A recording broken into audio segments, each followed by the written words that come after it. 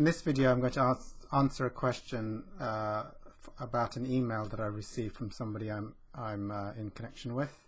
It's a question about sort of detaching from difficult relationships and applying A Course in Miracles and various tools. so it reads, in my first session I mentioned that I tend to react to what I hear from people. I gave the example of you are lucky and we talked about tuning out and cancelling the belief when I hear one. But for some reason I think I need to figure out something, especially when I think the belief is not clearly expressed or seen. Let me explain a bit. I'm watching your, uh, your Udemy uh, video course, Transform Difficult Family Relationships to Love and Harmony. Uh, you were particularly aware of what could trigger you with your mother, that is, like tone of voice, facial expression, and criticisms. Then you used those triggers in your prayers, such as I pray for a miracle to see my mother's criticism differently, for instance. My question is, I'm wondering if you recommend to identify the hook to be specific in what triggers me. Well, it's good. Um, it, it's always better if you can be specific. Um, like I pray for a miracle to see uh, my mother's criticisms differently, or I could see my mother's criticism instead of my mother's criticism, I could see peace, uh, or I could practice being in the witnesser. Uh, anytime I'm with my mother, practice being in the observer of me and the criticism. So, what's observing me and the criticism? Can I be the observer? and this helps to detach from the hooks Uh, so carry on reading this. I mean, when I see your triggers prayers, there is a certain simplicity in them. Criticism, tone of voice, facial expression are powerful, deep and precise terms. I mean, they speak to me. I could relate to them. You are clear on the formulation for specific, for example. In my case, I feel overwhelmed, foggy. Well, that's also well, that's also the way I can feel about my spiritual journey. Sounds like there there's a lot. By the seeming different and complicated situations, I tend to want to break them down. Well, just sort of pausing there and answering your question, feeling overwhelmed and foggy uh, around triggers and around your spiritual journey. Well, you know, you can also use the Course in Miracles lessons on feeling overwhelmed and, and foggy. Like I pray for a miracle to see my fogginess differently. Instead of my fogginess, I could see peace. Another lesson is I'm not a victim of my fogginess. Um, so you can use all, all of those um, to release the fogginess. And sometimes as you start to release the fogginess uh, or the uh, feelings of overwhelm, you start to get more clarity on more specific things that you can release on. With uh, overwhelm and fogginess, these tend to be generalized feelings. So using the feel the Feelings tools, just sitting with your eyes closed, try not to go into thoughts and just be and allow these feelings of fogginess and overwhelm to be experienced, maybe for 10, 15 minutes a day in the morning or the afternoon.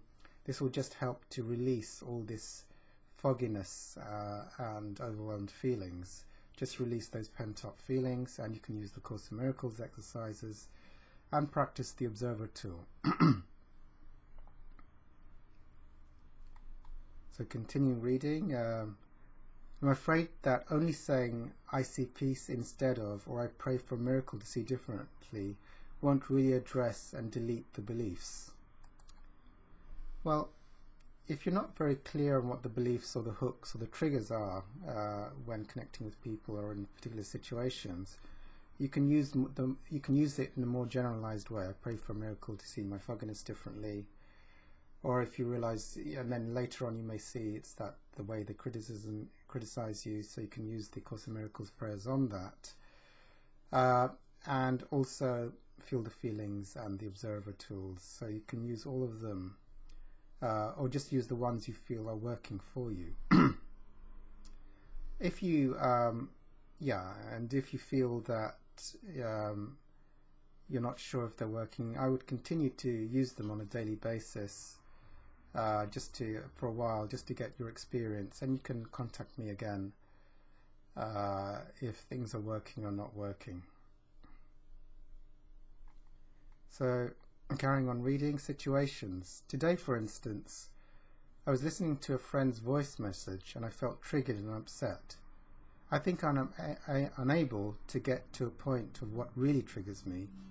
Maybe thoughts such as, she should have been more active, or she does not think through enough, or there's always a problem on her side. Okay, so in this, uh, so you felt triggered and upset, but you're not really sure what triggered you.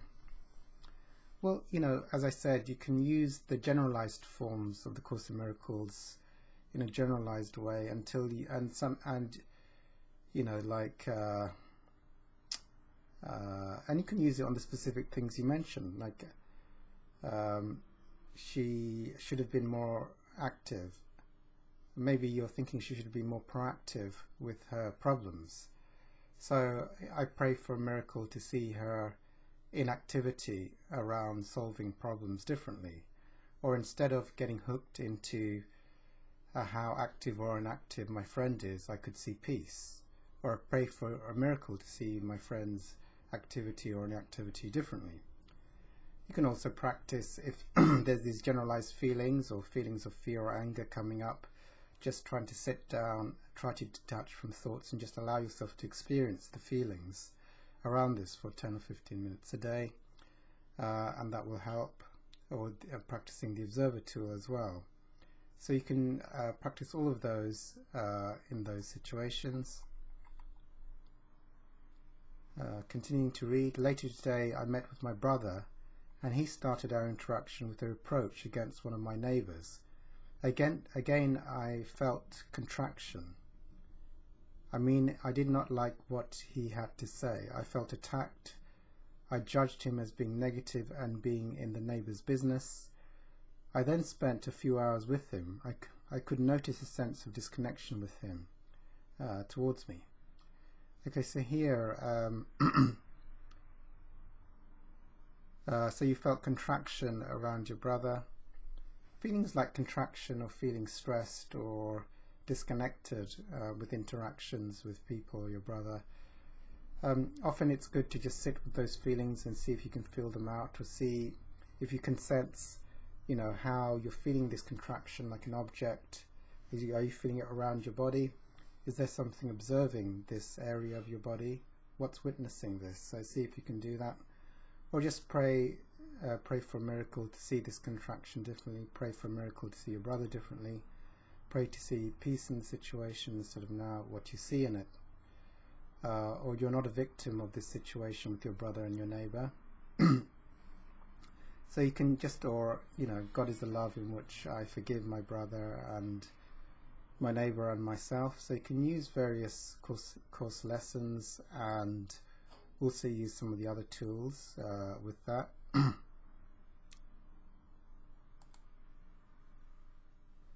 Uh, I tried to tune out and at certain points I could notice that I was thinking that it means I don't love him or that I'm not totally present to him.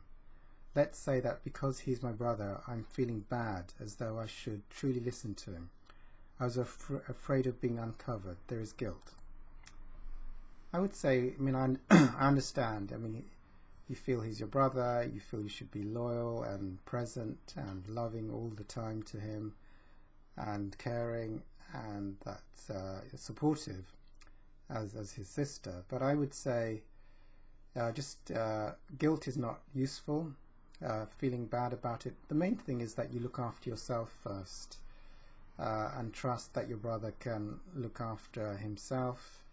And or another way of seeing it is if you look after yourself, trying feeling the feelings of going to the observer, praying for a miracle to see the situation differently, or I place my guilt and what my brother thinks of me into God's hands, uh, which is another great Course in Miracles lessons. Um, so as you keep doing those lessons and try and detach from uh, wanting to take care of your brother or be the perfect sister, uh, you'll start to feel more connected yourself. And the more connected you feel yourself, uh, later on you'll be able to help your brother more. But this is a form of codependency, really wanting your brother to know that uh, you're uh, a caring and loving sister. But this is a kind of dependency where this can make you feel disconnected. So I would, I would let him let go of what he thinks of you and just focus on you being connected and uh, and happy and released and surrender him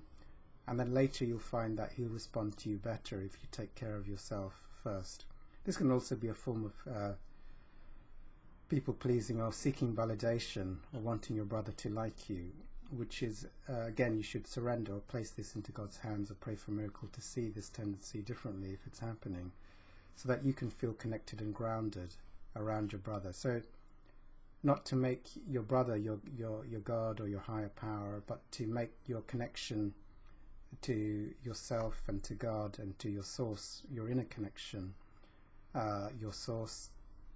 By using these tools, you'll be able to detach more from your brother and feel more empowered. Uh, guilt is always, um, yeah, uh, if you always remember that guilt is not useful, feeling guilty because you're not good enough or not being good enough for others it's just not a helpful emotion to indulge in. It has no uh, spiritual benefit. So, so continuing reading, I did use the prayer and I could notice that underneath I was covering up something. I don't know something. It sounds uh, that the covering up is about fear, and I think I'm not totally genuine in my prayer, or that I don't uh, trust fully. I would continue to use the prayers even if you feel you're not genuine or you don't trust fully um, the prayers in A Course in Miracles. You can also use the Course in Miracles prayers on your lack of trust and uh, your lack of genuineness about the prayers or your lack of belief in the prayers. Like I pray for a miracle to see my lack of feeling genuine about these prayers differently. Uh, I pray for a miracle to see my lack of trust in these prayers differently. I could see peace instead of my lack of trust. Uh, uh, or I could see peace inst instead of my feelings of feeling uh, disingenuous. Or if you're feeling this kind of unease with the prayers, you can, uh, sitting with those feelings of unease will help to dissipate that. from my experience, often these prayers, if you continue to use them on a regular basis, uh, as much as you can, they will start to start to work. But let me know how, how it goes. So continuing reading, um, I feel a big obsession or attachment about the words people can use. Uh, the mind picks them up and reacts when they don't match with my view. Maybe the prayer could simply be I pray for a miracle to see my attachment with words differently. I cancel my belief I'm attached to words. I'm an infinite being, not subject to that. Um, yes, you can use those. Um, those are high-level prayers, like I pray for a miracle to see my attachment to words differently. I cancel my belief in my attachment to words. You know, I cancel my belief to my attachment to what people think of me. I, I, I cancel my belief in my attachment to the thoughts in my head. I cancel my uh, attachment to my thinking. I, uh, I, I can, you know, I place uh, my interest and addiction to my own thoughts into God's hands. So these are great, um, great Course in Miracles lessons. Or practicing the observer.